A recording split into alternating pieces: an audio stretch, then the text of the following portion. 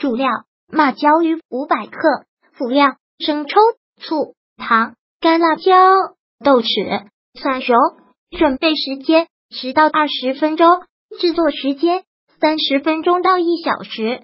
将鱼切断，加盐、姜、白酒、花椒粒加以腌制二十分钟。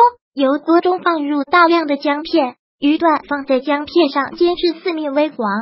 将鱼段中的鱼骨剔除，将鱼肉拆松，放入所有调味料，继续翻炒，加入少许生抽、醋、糖，翻炒均匀。